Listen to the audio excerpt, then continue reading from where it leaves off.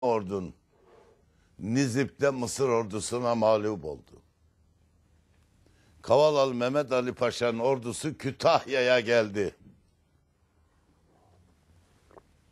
Devlet biliyor ki bunu tahrik eden Fransızlar, İngilizler. Buna karşı onlardan yardım isteyemiyor. İngilizler ve Avrupalılarla Ruslar mezhep farkı dolayısıyla daima kedi köpek gibidirler. Biz Ruslarla 14 kere harp ettik. Birinci Cihan Harbi hariç hiçbir batılı devlet Rusların yanında bize karşı harp etmemiştir. Avrupalılarla yüzlerce defa harp ettik. Bu harplerin hiçbirinde de Ruslar birinci Cihan Harbi hariç onun sebebi sanayi rekabetidir. Ruslar Avrupalı devletlerin yanında yer almamıştır. Hristiyan değil mi? Haçlı seferlerinde bile Rusya yoktur. Ondan sonraki Osmanlı'ya karşı gelen Haçlı seferlerinde de yoktur. Böyle münaferet var. Düşmanımın düşmanı dostumdur mantığıyla Osmanlı Rusya'dan yardım istedi. 10 bin Rus askeri geldi İstanbul'a. Sarıyer'den bu tarafta bir düzlük var. Nedir oranın adı? Oraya çadır kurdu oturdular. Rus generali Kavalalı Mehmet Ali Paşa'nın oğluna dedi ki dönüp gidiyor musun yoksa gelip kafanı kırayım mı? Halbuki o Rus ordusu gelmeden evvel yakında İstanbul'a gideceğiz. Hanedan meselesini konuşacağız dedi.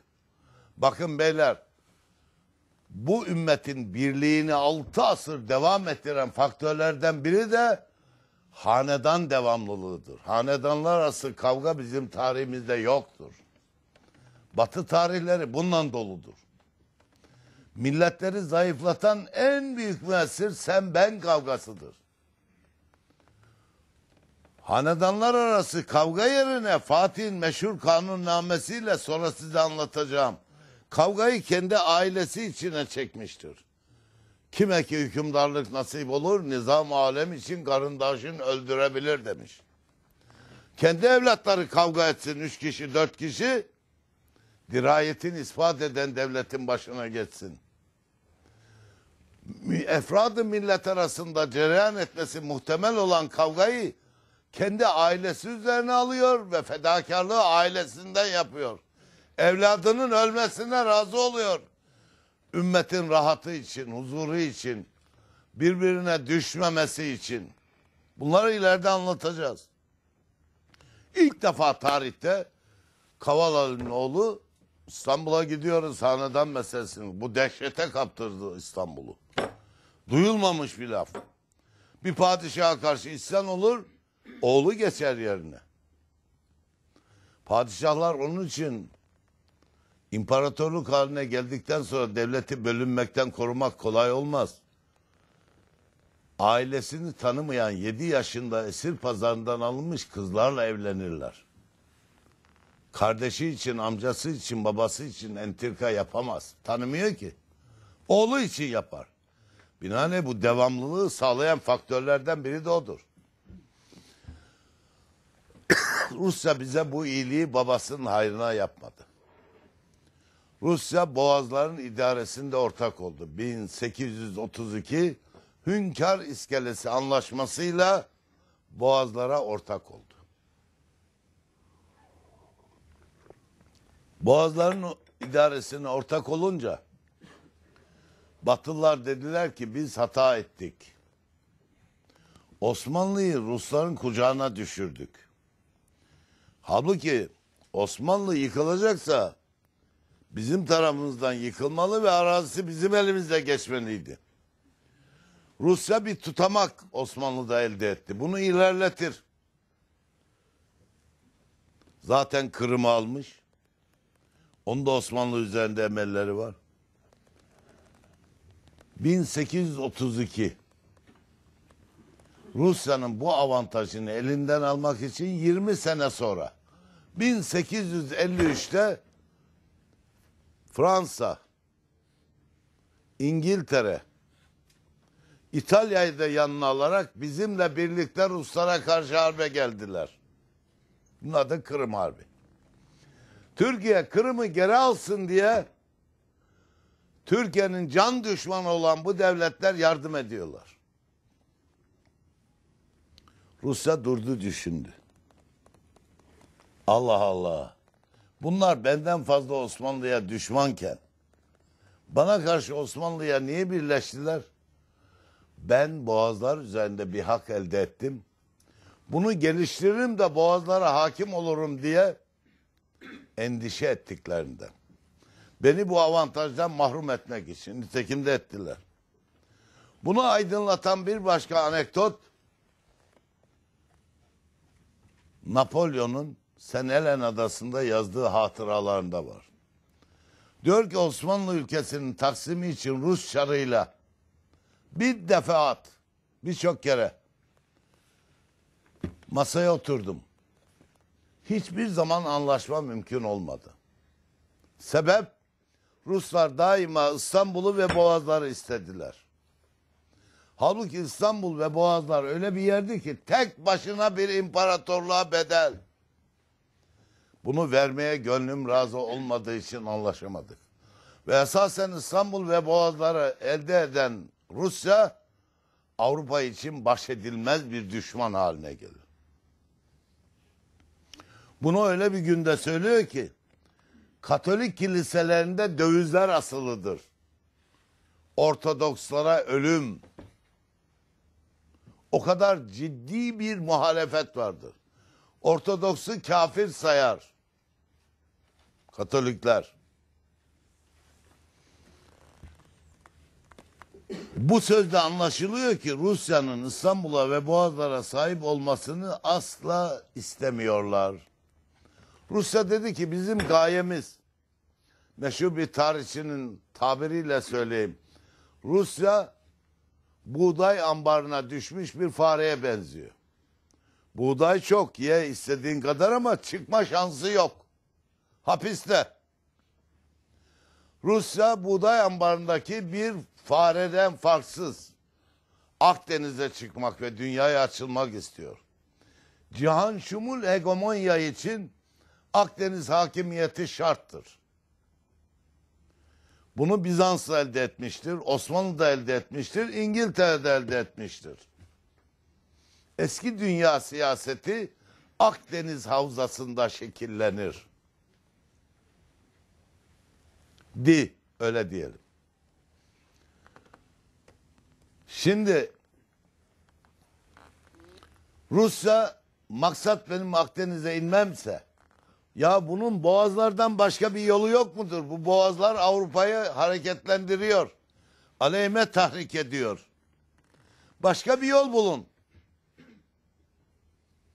İlim adamları, askerler aylarca müzakere ettiler. Vasıl oldukları netice şu. Biz nasıl Yunanistan'ı destekleyip bir devlet yaptıksa çünkü Yunan istiklale getiren Mavrivira Cemiyeti'nin başkanı Alexander Ypsilanti. Alexander Ypsilanti kim? Çar'ın yaveri. Yunan istiklalini temin eden Rus. Nitekim Edirne Muadesi'yle 1828'de bunu temin eden de Rusya. Aynı şekilde Anadolu'nun doğusunda da bir Hristiyan unsur var. Onlar da Yunan gibi kadim bir millettirler. Onları destekleyelim. Bir devlet yapalım, sonra yutalım, İskender'den Akdeniz'e inelim. Kim bu kadim Hristiyan unsur? Ermeniler. Bu gerçek şu demektir ki, tarihte gayrimüslim unsurlar içinde yegane tebayı sadıka adıyla anılan Ermeniler Rus tahrikiyle Osmanlı'dan kopup ayrı bir devlet olmak için harekete geçtiler. Ermenilerin tarihteki asıl orijinal vatanları Kilikya'dır. Kilikya Çukurova'nın eski adıdır. Ve burası sahile kadar devam eder. Eğer bunlara burada bir devlet kurdurursak zaten Kafkasya'ya kadar dayanmışız. İstanbul Boğazlarından Akdeniz'e çıkacağımızda Doğu Anadolu'dan Akdeniz'e çıkarız. İşte Ermenis vukuatı denilen vukuatın çıkış sebebi bu Rus emelidir. Tarihi gerçek bu. Buna da sebep Kavalalı hadisesidir. Kavalalı mutlak haindir. Düşman desteğiyle kendi devletine isyan eden bir adamdır. Tarihte hain arıyorsan hiç korkmadan hain diyebileceğin bir adam budur. Koca Mısır'ı bizden koparmış. İttihadı İslam'a ilk darbeyi vuran budur. Osmanlı Devleti gücü yetip de gidemediği, fethedemediği yerlerde bile halifenin adı okunan bir devlet. Hindistan'a gitmemiş. Hindistan'da bütün camilerde Osmanlı halifesinin adı okunur. Fas'a gitmemiş. Aynıdır. Gariptir.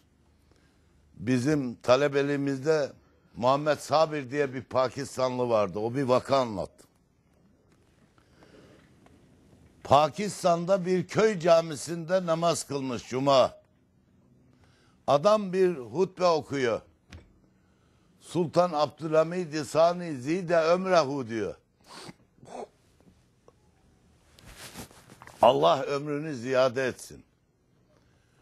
Bu namazdan sonra demiş ki ya siz ne dediğinizi farkında mısınız? Bu padişah, bu halife öleli şu kadar sene oldu. Vay namussuz sen İngiliz yazsın diye üzerine yürümüşler. Çünkü Abdülhamit Hutbe kitabı bastırdı, dağıttı oralara. Her yere. Abdülhamit gideli Cumhuriyet ilan edilmiş Türkiye'de. Pakistan'ın köyünde Abdülhamid'in adına hutbe okunuyor hala. Osmanlı Hindistan'a gitmemiş. Bu iddiada ilk darbeyi Kavalalı Mehmet Ali Paşa vurdu. Ve bu hareketten Rus tahrikiyle Ermeni meselesi doğdu. Ben müstakillen Ermeni meselesini sonra anlatacağım. Bu bir katliam değildir asla. Mukateledir. Karşılıklı vuruşmadır. Bizim kaybımız onlardan çoktur. Üstelik çok olmasa bile kavgayı ilk başlatan suçludur. Durup dururken biri sana bir tokat vursa, sen hırslanıp ona iki tokat vursan, sen mi suçlu olursun? Durup dururken o tokatı vuran suçludur. Ona sebep oldu. Bu da aynen böyledi. O Tebay Sadık'a ne ihanetler yaptı onu anlatacağım zaman göreceksiniz. Şimdi Ermeni meselesi sukut edince başarı elde edemeyince Rusya'da da ihtilal oldu. Komünistler iş başına geldi. Rus orduları Doğu Anadolu'yu Van Gölü'nün güneyine kadar sarkmışken terk ettiler. Çekildi gittiler. Komünistler önce Çarlığı emperyalistlikle itham ederek onun gasp ettiği ülkelere istiklal verdiler. Azerbaycan müstakil oldu, Buhara müstakil oldu vesaire. Fakat bir müddet sonra bunlar da eski emperyalist emeller uyandı. Sonra anlatacağım size. Azerbaycan'ı Mustafa Kemal'in desteğiyle işgal ettiler. Türkistan'da neler yaptılar, onlar nasıl geri aldılar? Çarlık siyasetine döküldüler kısaca. Çarlık siyasetine dökülünce Ermeni kalmadı Doğu Anadolu'da. Türkiye'de kafa taşçı ırkçılığa döküldü.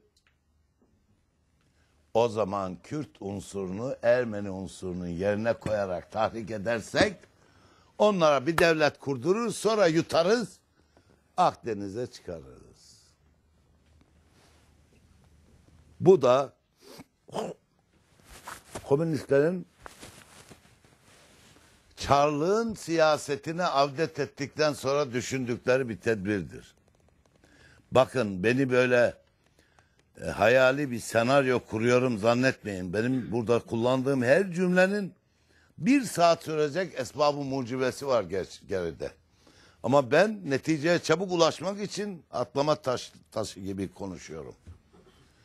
1930 senesinde Mustafa Kemal'in Türkiye'de yaşayan herkese zorla Türk'üm dedirtme hareketinin bir reaksiyonu olarak Dersim'de böyledir. Alevi diye Dersim'i ezmemiştir. Türk olduklarını kabul etmediği için ezmiştir. Çünkü Kürt diye bir şey yoktur. Kart kurt uydurması var. Adamların çocuklarını almış. Onlara Türklüğü telkin edecekler. Sonra oraya muallim olarak gidecekler. Halkı Türkleştirecekler. İslam'ı kaldırdı ya. Türklükle bir alakası yok. Ama İslam'ın yerine bir şey koymak ihtiyacında. Batılı'nın da işine gelen ırkçılığı, kafatasçı ırkçılığı koyuyor. 64 bin mezar açtırıp kafatası ölçümü yaptırmıştır. İnternette görebilirsiniz.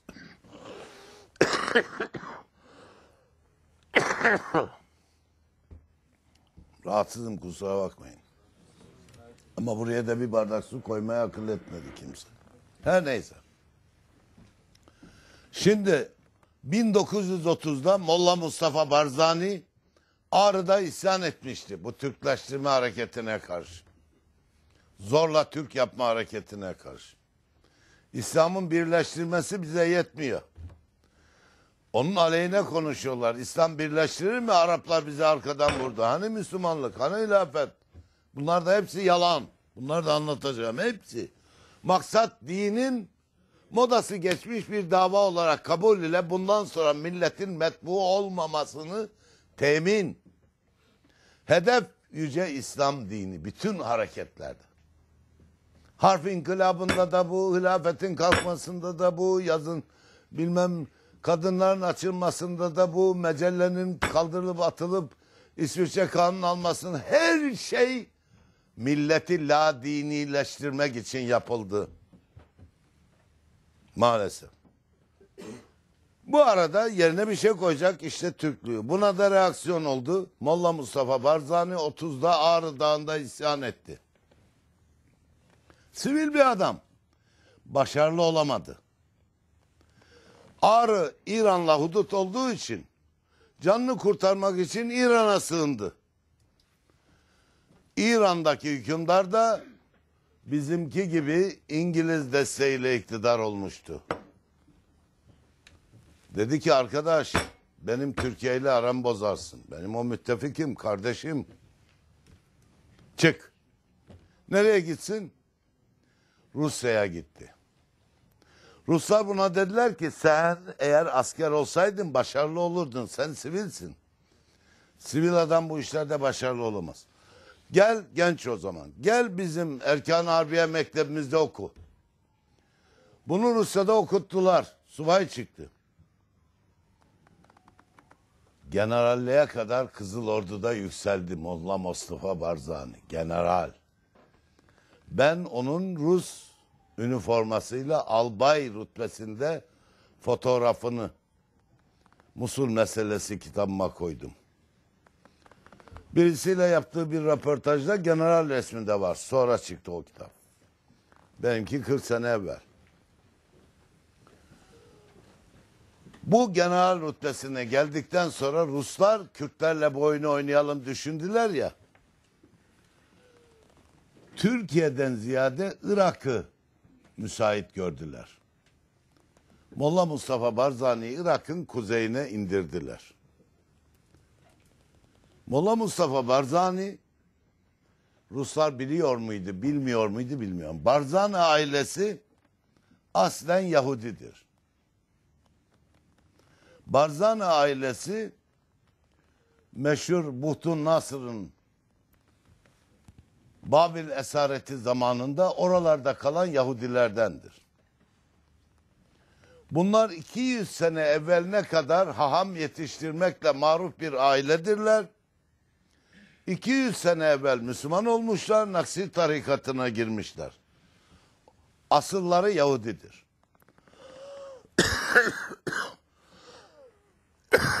Buna dair birkaç İngilizce kitap var.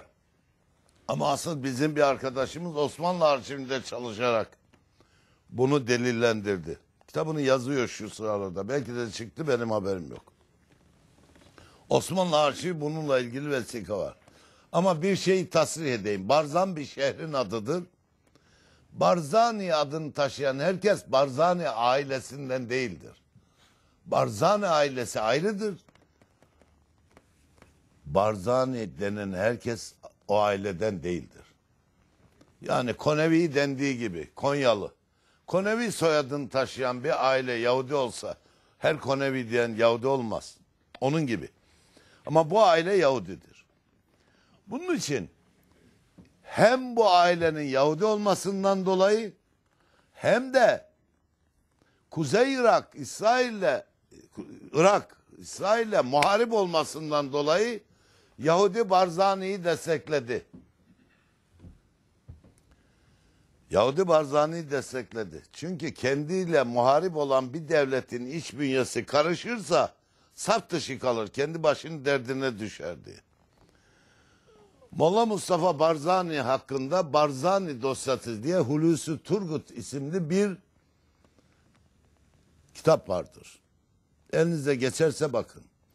Barzani dünyada nereden silah aldıysa o silah fabrikasının sahibi Yahudidir. Adam delilleriyle ispat etmiştir. Sade bu kadar değil. Bu Asuriler zamandan kalma Yahudilerden Kürtleşmiş. Yahudice, İbranice bilmiyorlar. Yani Türkiye'deki Yahudiler de İbranice bilmezler. İspanyolca bilirler. İspanyol'dan geldikleri için.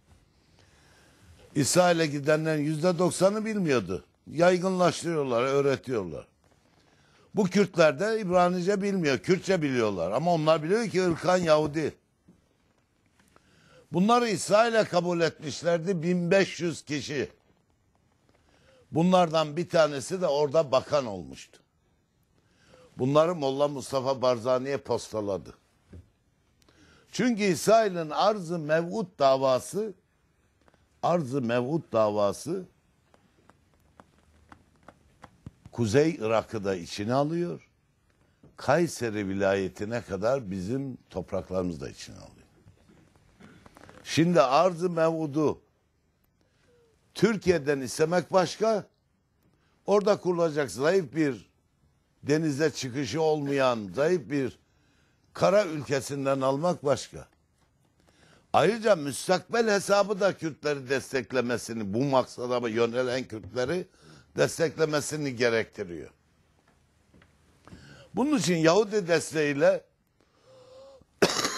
Kuzey Irak'ta bu işler olurken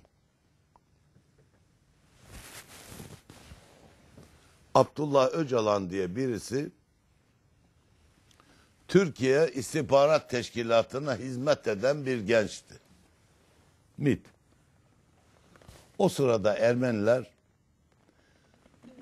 63 senesinde bu. Türkiye Avrupa Birliği'ne girmek için o zamanki adı herhalde biz bir meseleyle bitireceğiz ama ne yapalım anlatınca doğru anlatmak lazım. 63 senesinde ortak pazar o günkü adı girmeye imza atınca Ermenilere gün doğdu. Çünkü Roma Anlaşması denilen ve bu birliği kuran anlaşmada bir kaide var. Bu birliğe dahil olan her devlet, bu birliğe dahil olan başka devletlerin ülkesinden aynen vatandaş gibi her hakka ait. Yani bugün Avrupa Birliği dahilinde Almanya, İngiltere. Bir İngiliz dese ki Almanya'da sosyal haklar daha fazla. Ben Londra'dan hicret ediyorum, Hamburg'da oturacağım. Almanya ne arıyorsun burada diyemez. Tıpkı Türkiye'de Erzurum'daki bir adamın kalkıp İstanbul'a yerleşmesi gibi. Ama daha farklı bir ilave farkı var. Londra'dan kalkıp Hamburg'a gelen İngiliz'e ya iş verecek ya işsizlik parası verecek. Kendi adamına ya iş veriyor ya işsizlik veriyor. Eşit hakları haiz. Rey de kullanır. Başbakan bile olur. Aynı haklara haiz. O zaman bu Türkiye bu birliğe girerse bizim Avrupa Birliği dahilinde 4 milyon Ermeni vatandaşımız var. Biz bunları Türkiye'ye saldırırız. Bu araziyi satın alırlar. Filistin'de Yahudinin yaptığını biz de Ermeniler olarak Türkiye'de yaparız. Bu fikir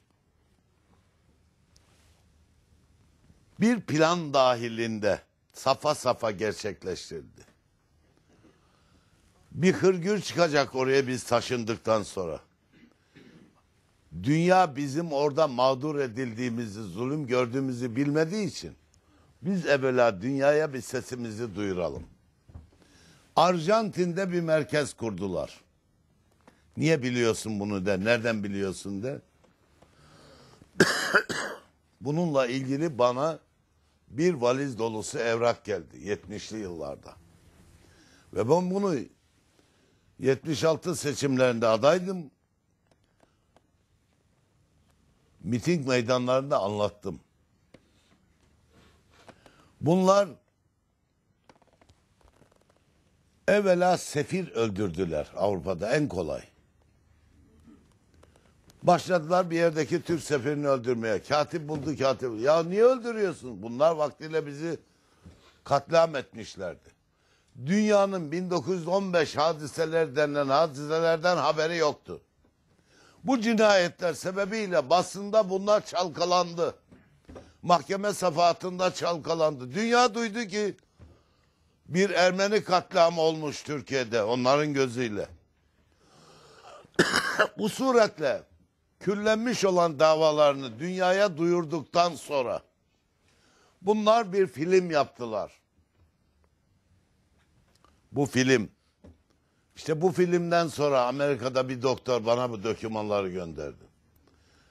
Türkler Ermeniler nasıl naz- zulmetmiş, nasıl asmış, nasıl kesmiş, nasıl sürgün etmiş diye acıklı sahneler dolu film.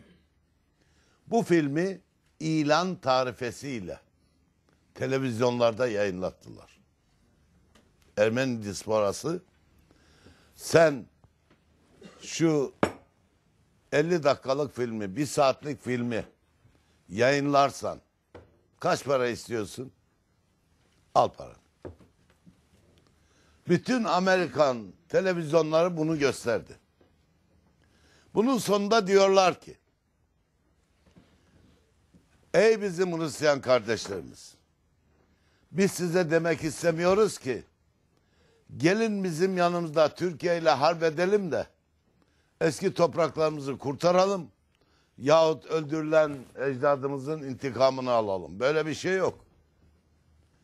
Türkler o zaman Avrupa Birliği lafı söylenmiyor. Ona gideceği belli de. Ortak pazara girmeye teşebbüs ettiler.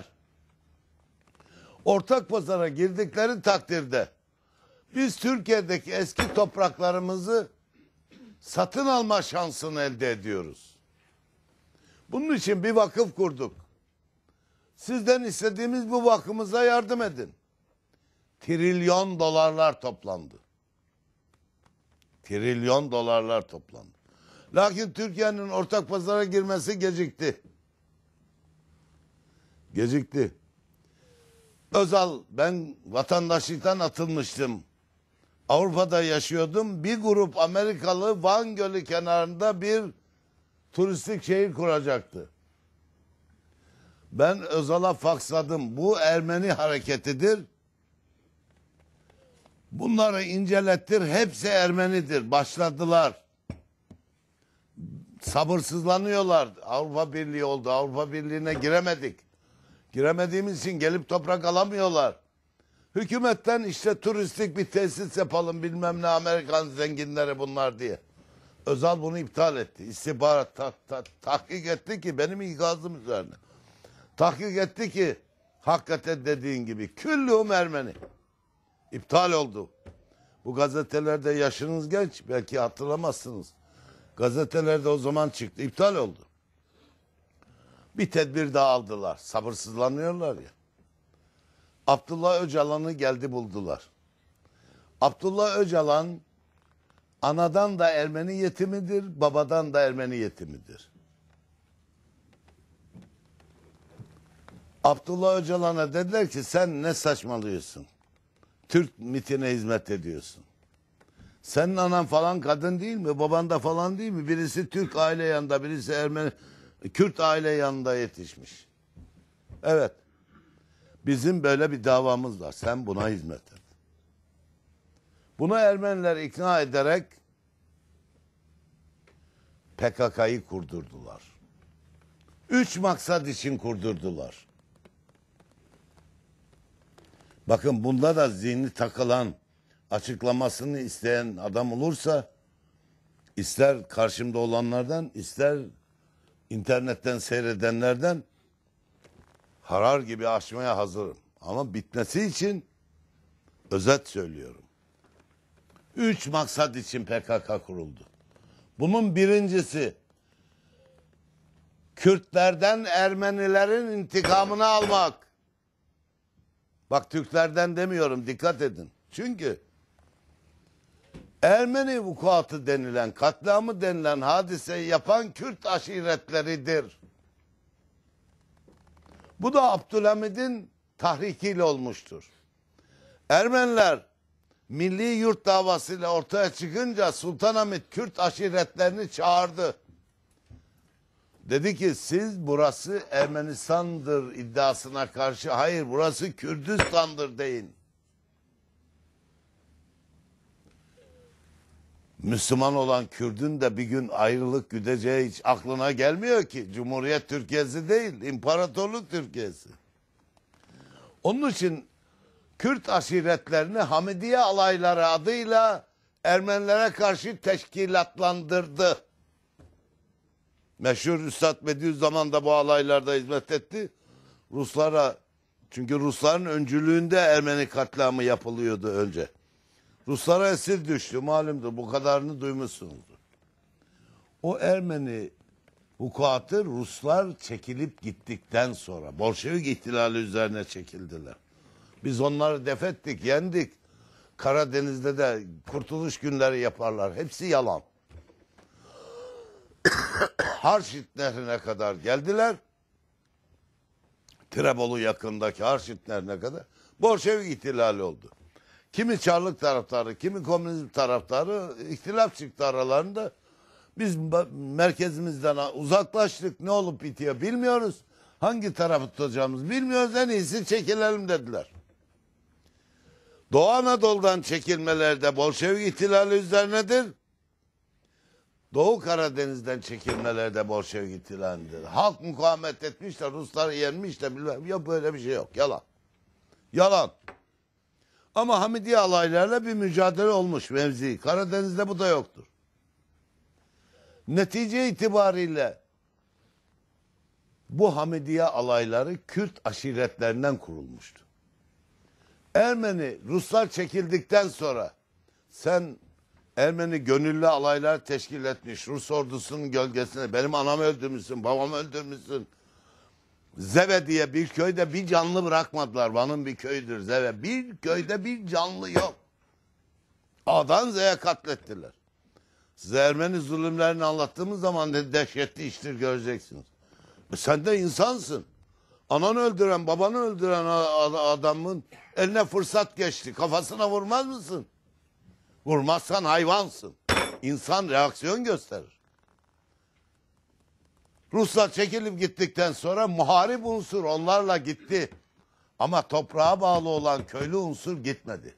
Bakın size garip bir şey söyleyeyim. Amerika keşfedildikten sonra 1492 değil mi? Kısa bir müddet sonra kanuni devrinde Papalık Meclisi bir karar aldı. Bu Türkler bizi Manş denizine dökecekler. Kanunun iki defa Almanya seferi var. Amerika'da keşfedilmemiş yerlerin bile hakimin sahibi olduğunu iddia eden Sharman Ahın şehrinden dışarı çıkamadı. Kanuni de biz köylülerle harp etmek için gelmedik dönün geri dedi. Nüfusu müsait değil ki oralarda katsın ülkesini. Karşısında bir güç yok. Fakat papalık meclisi karar aldı. Bunlar bizi Manş denizine dökecekler. İyisi mi hazır Amerika diye bakir bir kıta keşfettik. Bu ahaliyi Amerika'ya taşıyalım, burayı insansız bırakalım Türklere. Fakat tatbiki kabil olmadı. Neden? Toprağa bağlı insan yer terk etmez. Yer terk etmez. Bakın bir köylü büyük şehre gelirse aklı köyündedir. Biraz para kazandı mı döner. İkinci nesil gitmez köye. Toprağa bağlıdır. Toprağa bağlı olduğu için o gün feodal sistem bunun tatbik kabiliyeti olmadı. Bu bir ibrettir. Ermeninin de toprağa bağlı olanı Rus ordusunun arkasına takılıp Rusya'ya gitmedi. İşte Hamidiye alayları ve Kürt aşiretleri bunlardan intikamını aldı. Onun için Ermeni katliamının birinci faili Batılılarca Kürtlerdir. O halde bir teşkilat kuralım ki evvela Kürtlerden intikam alsın. PKK'nın birinci kuruluş gayesi budur. Dikkat edin. Siirt'in yarısı Arap'tır, yarısı Kürt'tür. Kürt mıntakasında vukuat vardır, aynı şehir. Arap mıntakasında yok. PKK'nın öldürdüğü herkes Kürttür. Buradan Kürt kardeşlerime duyuruyorum. Eğer bir Kürt benden daha iyi Müslümansa tekrim ederim. Üstünlüğünü kabul ederim. Benim şerefim iman iledir. Şereful insan bil iman. La bil mal ve la bin nesep. Peygamber sözü. İnsanın şerefi iman iledir. Malla veya neseple değil. Ben Türk olmuşum, sen Kürt olmuşsun. Bunu seçmek senin benim de elimde değil. O Allah'ın takdiri. Ama dinini seçmek elinde. İstersen la ilahe illallah Muhammeden Resulullah dersin, istersen Mustafa Kemal Resulullah dersin. Galip Efendi için bir laf var. İstersen onu dersin, istersen Evrana soluna dersin Resul. Hürsün. Allah'a inanmama hürriyetini veriyor İslam insanlara. Böyle bir hürriyeti beşeriyet hayal edemez. Böyle bir hümanizmi hayal edemez.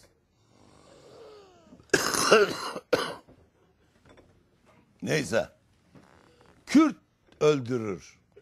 Eğer bir Türk'ü polis vesaire öldürüyorsa tahaffuz endişesiyle öldürüyor yahut hükümete bir gayle çıkarmak endişesiyle öldürüyor. Dikkat edin. Kahir ekseriyetiyle planı programı haricinde de adam öldürür. Mecbur kalır öldürür.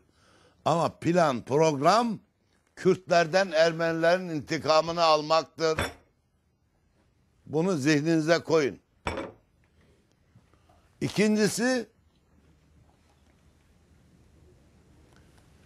araziyi ucuzlatmaktır. Katliam etmelerin, anarşi çıkarmaların sebebi budur. Bir yerde başın derde girecek gördün mü 100 liralık yerini 10 liraya satarsın kaçarsın. Bu büyük şehirleri böyle nüfusça şişiren hadise Güneydoğu hadiselerdir. Kendini emniyette hissetmeyen adam yarı aç yarı tok İstanbul'da yaşayayım, İzmir'de yaşayayım diye kaçmıştır. Demek ki araziyi ucuzlatmak için anarşi yolundan gidiyor. Üçüncüsü ahaliyi azaltmaktır. Bu üç gayeyi gerçekleştirdiği zaman da denk gelecek Türkiye Avrupa Birliği'ne girecek. 4 milyon Ermeni Alman diye, Fransız diye, İngiliz diye gelip arazi satın alacak. Ağrı Dağı'ndaki bir köylünün 200 dönüm yeri var, karnı zor doyuyor. Gelecek ona bir para teklif edecek ki Taksim'de apartman alır. O adam diyecek ki ya ben burada doğdum, burada öleceğim. Al, gidin işinize altınla kaplasam vermem. Ama çocuğu diyecek ki baba deli misin? Burada yarı aç yarı tok yaşıyoruz. Sen İstanbul'da da cami var. Orada namazını kılarsın. İkinci nesil paraya tamah ederek sattıracak. Aynen Filistin'de Yahudilerin yaptığını yapacaklar. Araziyi aldıktan, yerleştikten sonra bir hırgür çıkaracaklar. Avrupalı diyecek ki ne oluyor burada? Bunlar diyecek ki bu Türkler işte eski zalim şimdi bir daha bizi yeniden katliam ediyorlar. Etmeye kalkışıyorlar. Biz diyeceğiz ya yok böyle bir şey. Sen şu yanlışı yaptığın için sana bu tokadı vurdum. Köpek köpeğin bacağını kapmaz. Avrupalı ondan yana olacak ve istiklal elde edecekler. Şimdi PKK bir Ermeni işi. Peki Yahudi bunu niye destekliyor? Yahudi bunu desteklemiyor. Kürt hareketini destekliyor. Yahudi Kürt'le bölünsün istiyor. Yahudi PKK'nın projesi Yahudinin amali siyasiyesine ters düştüğü için Yahudi bize Abdullah Öcalan'ı teslim etti.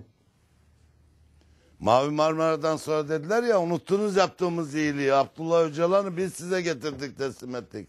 Siz onu Tel Aviv'den aldınız. Afrika'dan değil yüzünüze vurdular. Niye? Çünkü PKK'nın hareketi Ermeni hareketi olduğu ve bu Ermeni hareketi de Türkiye Avrupa Birliği'ne girdiği takdirde kabili tahakkuk olduğundan Avrupa Birliği'ne girmiş bir Türkiye'den Yahudi bir taş bile alamaz. Karşısında 400 milyonluk Avrupa'yı görür. Ama PKK değil de Kürt hareketiyle bir Kürt devleti kurulsa, Kuzey Irak'takini destekliyor. O kurulsa denize çıkışı olmayacağı için. Irak düşman, İran düşman, Türkiye düşman, Suriye düşman, çember içinde. Petrol havadan taşınarak paraya çevrilmez. Kapattı ona hudutlarını. Bunlar açlıktan geberir. Onlar da diyor ki bizim denize çıkışımız olması için. Siz nedir Adana'ya çalışmaya gidiyorsunuz? Mersin'e yerleşmeye gidin.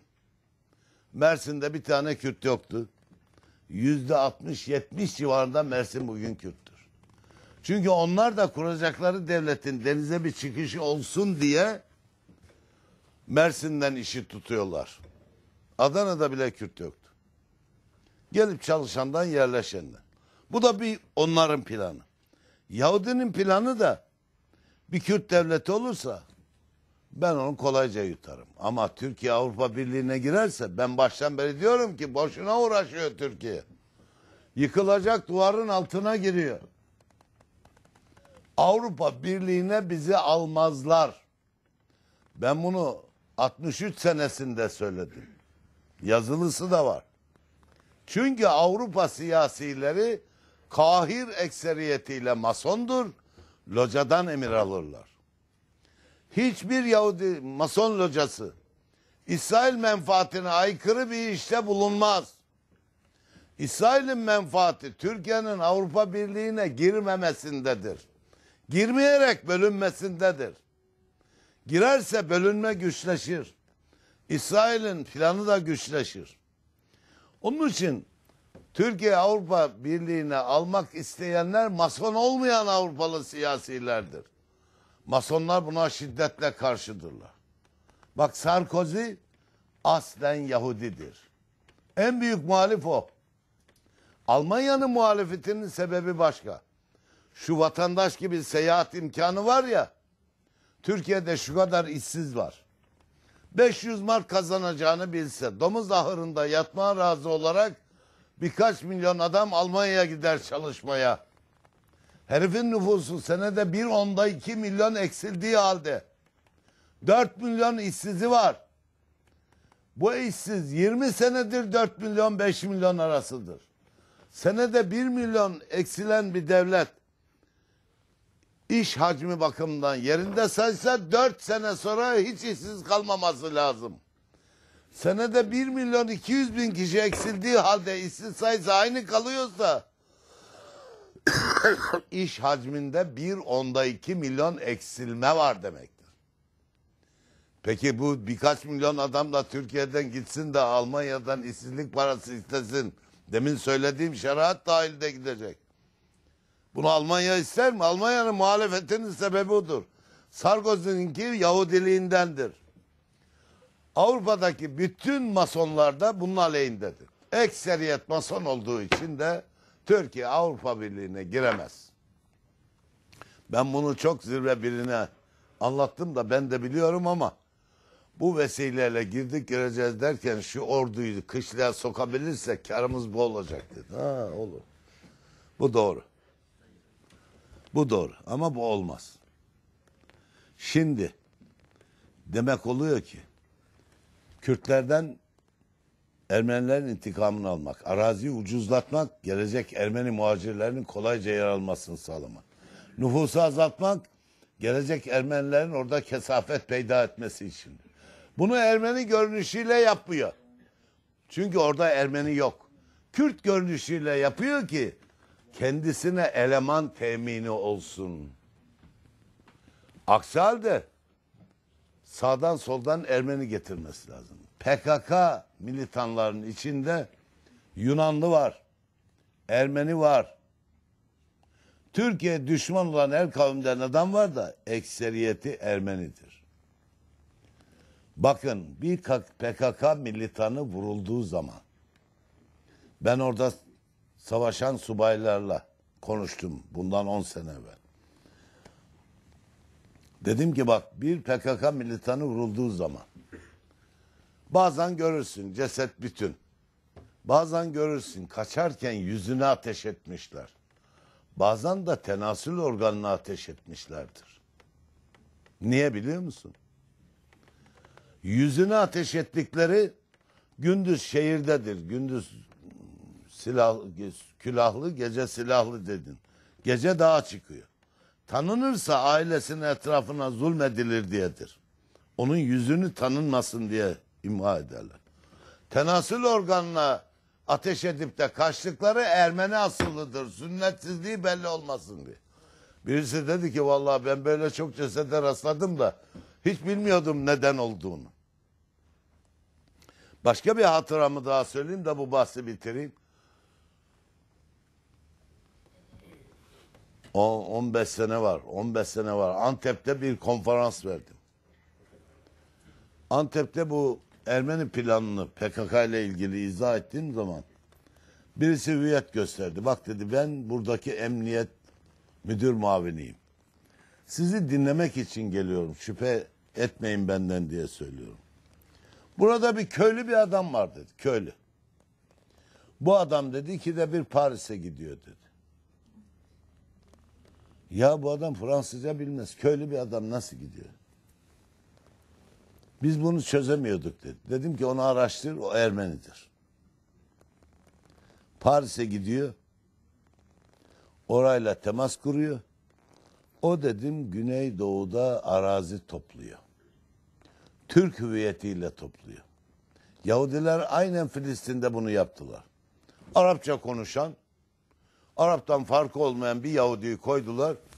Bir ahmak Arap gelmiş 10 liralık yere 100 lira veriyor diye. Kuyruğa girdi Araplar arazi sattılar. Sonra o Arap çıktı Yahudi. Şehzade Mahmut Şevket Efendi Mısır'da 40 sene bir Arap şoför istihdam etmiş. Sonra onu emekliye sevk etmiş. Bana dedi ki gösterdi ölüm ilanını. Herif dedi benden emekli oldu. Kudüs'e yerleşti. Ölüm ilanıyla anladım ki bu Yahudiymiş. Arap diye benden cumaya giderdi namaz kılardık. Ölüm ilanından tanıdım. 30-40 sene şoförlüğümü yapan adamı. Oraya da koydu Arap'ı. Araplar ahmak biri geldi parası biter de benim yerimi alamaz diye kuyrukta birbirleriyle kavga ettiler. Satan Beyrut'a gitti, Mısır'a gitti, Avrupa'ya gitti. Sonra o Arap çekildi. Yahudi Hagana teşkilatı çıktı ortaya. Dedim ki o Antepli köylü de böyledir. Dedi ki biz tespit ettik. Bin dönüm arazi aldı. Parayı nereden buluyor bu adam? Dedim ki işte bu Ermeni parası. Başlamışlar. Başlamışlar. Bir hatıra daha anlatayım size. Ondan sonra bu sualin cevabı bitsin. MIT'ten emekli bir albay. Vaktiyle bu Körfez Harbi sırasında Genelkurmay benden bir fir- briefing istedi. Hava kuvvetlerinde bir birkaç dindar subay. O vasıta oldu, o anlattı. Dedi ki ben dedi Adapazarı depremi olduğu zaman orada deprem koordinasyon merkezinde çalışıyordum. Bir adam bana geldi dedi. Dedi ki ben Amerika'dan geldim. 10 milyon dolarla bir yetimhane kurmak istiyorum. Burada şimdi deprem dolayısıyla çok yetim çocuk vardı. Bana yardımcı olun. Bir yer gösterdim beğenmedi, bir yer gösterdim beğenmedi. Ona bahane buldu, buna bahane buldu. İşim de çok kafamdan silindi. Bir gün dedi bakanlıkta, İmar İskan Bakanlığı'nda koridorda buna rastladım. Ya ne yaptın sen yetimhane kuracaktın dedim dedi. Dedi ki uğraşıyorum dedi. Ya herhalde senin bir müşkülatın var onun için bakanlığa geldin. Gel benimle ben senin bakanla tanıştırayım. Yardımcı olayım istedim dedi. Ben içeri girdim baktım adam yok dedi. Gene unuttum adamı dedi. Bir gün Urfa'ya gittim dedi. Urfa'ya gittim bir yetimhane açılmış. Göreyim dedim dedi. Gittim ki İbranice şarkı söylüyorlar dedi. Bir tahkik ettim ki o ada pazarında yetimhane kurmak isteyen adam. Ada pazarını beğenmedi. Göz önünde. Orası uzak. Bir. İkincisi arzı mevuda dahil. Herif İbranice öğretiyor yetimhanede İbranice şarkı söylüyorlardı. Gözünüzü açın. Düşman siperde gizli. Ve düşman maskeli. Hoca kılıklı düşman da var. Subay kılıklı düşman da var. Kendini evliya diye satan düşman da var. Ferasetle bakın. Gerçek mümin olursanız bunu başarırsınız. Peygamber aleyhissalatü vesselam ittekû min ferasetel müminin. Müminlerin ferasetinden, nüfuzu nazarlarından, gerçeğe vukufiyet kabiliyetlerinden korkun. Fe innehu yanzuru bi nurillahi teala. Çünkü onlar Allah'ın nuruyla bakarlar. Allah cümlemizi o vasfa ulaştırsın inşallah. Başka bir sual sor. Bu kadar yeter. Çok uzattık bu suali. Ee, sizi televizyondan izleyen bir e, okuyucunuz diyor ki bir TV programında Mustafa Kemal'in mirasını açıklayın da millet öğrensin demiştiniz. Tabii ki bizler bunu bilmiyoruz. Ne gibi durumlar söz konusudur? Mustafa Kemal'in mirasında ya da vasiyetinde. Şu tahrifle birlikte bir de tehdit ediyor diyor ya. Onu da beraber oku ikisine bir cevap vereyim. Saatten de haberim da televizyondan izlemiş olan bir okuyucunuz diyor ki canlı e, Karadeniz TV'de Atatürk'ün halifeliği kaldırmak için oluşturduğu komisyonu tehdit ettiğini ve bu tehdit esnas- esnasında söylediği sözleri söylemiştiniz. Bunun yazılı belgesi nedir diyor. Aha yazılı belgesi nutuk. Evet. Nutuk. Şimdi buradan okuyacağım. Evvela bunu çünkü birbiriyle irtibatlı. Evet. Yani bu ahlakta adam başka ne yapar tahmin etsinler. Şimdi Lozan'a evvela bir kısa izahat vereyim. Lozan'a hem Osmanlı Devleti çağrıldı hem Ankara hükümeti çağrıldı. Tevfik Paşa, Sadrazam Tevfik Paşa telgraf çekti Mustafa Kemal Paşa'ya.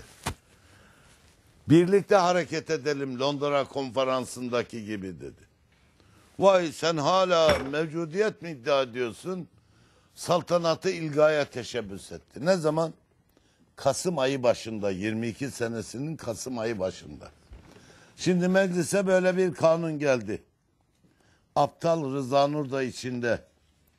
Mojen beni tebrik etti sen çok büyük iş yaptın diye saltanatı ilga etmekle. Övünüyor. Şimdi Mustafa Kemal bu kısa sade o tehdit kısmını okuyorum.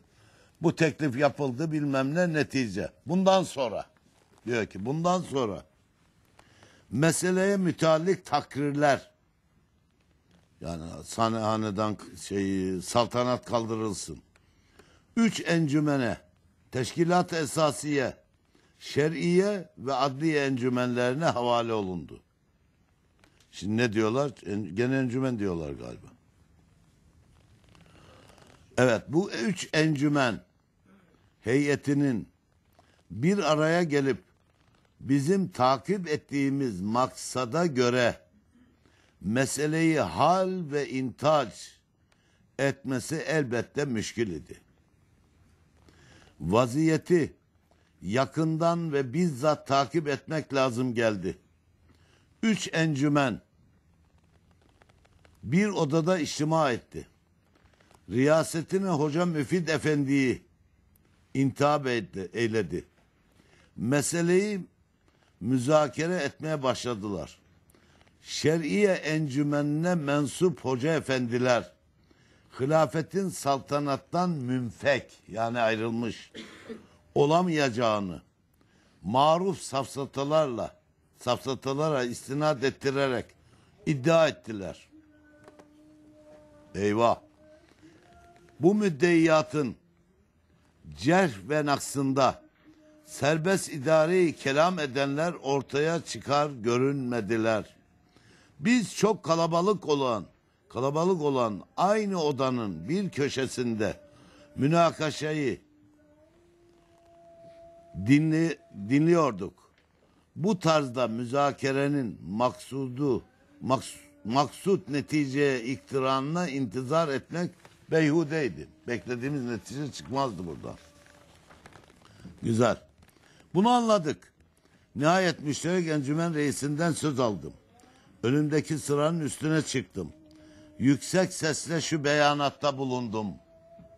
Kendi nutku. Ben böyle uydurma, tahrif edilmiş sonraki nüshalara bakmıyorum, aslına bakıyorum. Evet. Şu beyanatta bulundum. Efendim dedim. Hakimiyet ve saltanat hiç kimseye, hiç kimse tarafından, hiç kimseye ilim icabıdır diye müzakere ile münakaşa ile verilmez. Hakimiyet ve saltanat kuvvetle, kudretle ve zorla alınır. Osmanoğulları zorla Türk milletinin hakimiyet ve saltanatına vazuliyet olmuşlar, el atmışlar. Ve bu tasallutlarını altı asırdan beri idame ettirmişlerdi. Şimdi de Türk milleti bu mütecavizlerin hadlerini ihtar ederek, hakimiyet ve saltanatını isyan ederek kendi eline bir fiil almış bulunuyor. Bu bir emri vakidir. Mevzu bahs olan millete saltanatını, hakimiyetini bırakacak mıyız, bırakmayacak mıyız meselesi değildir. Mesele zaten emri vaki olmuş bir hakikati ifadeden ibarettir. Bu behemehal olacaktır. Burada içtima edenler, yani encümen üyeleri, milletvekilleri, meclis ve herkes meseleyi tabii görürse fikrimce muvafık olur. Aksi takdirde yine hakikat usulü dairesinde ifade olunacaktır. Fakat ihtimal bazı kafalar kesilecektir. Bu tehdit değil de nedir? Bu milli irade mi var o zaman? Gülünür buna. Burada toplananlar, encümen üyeleri, meclis ve hatta herkes bunu kabul ederse zannınca muvaffak olur. Aksi halde bu gene olacak. Ama ihtimal bazı kafalar kesilecek. Ölümle tehdit ederek saltanatı kaldırmış meclisi milletvekilini. Nerede hakimiyeti milliye? Hakimiyeti şahsiye. Bunun ikinci faslına ezan başka namaz olsa geciktirir bitirdim de akşam namazı olduğu için bu sualin mabadına haftaya devam edelim. Bu arada bir şey söyleyeyim. Geçen hafta İsmet Paşa'nın Taşlık'taki Sultan Aziz'in cami arsasını gasp edişine ait bir ismi hatırlayamadım. Buradan çıktıktan sonra aklıma geldi. Bu Kemal Gedeleş'tir. Riyaseti Cumhur Katip Umumisi bugünkü tabirle genel sekreteridir. İsmet Paşa'nın köşkünün arkasındaki apartmanın adı Gedeleç Apartmanı'dır. İlâ narı cehennem. Ecmain inşallah. Allah hepinizden razı olsun. Hak ve hakikat söyletmeme sebep olduğunuz için inşallah sürçülisan edip yanlış bir şey söylememişimdir. Hak ve hakikat söylememe vesile olduğunuz için Cenab-ı Hak kat ettiğiniz her metre mesafe için size bir hacı ekber sevabı versin. İslam'ın galebesini görmeyi nasip etsin. Bu galebede hizmeti sepkat edenlerden sizi kabul buyursun. Lillahi Fatiha.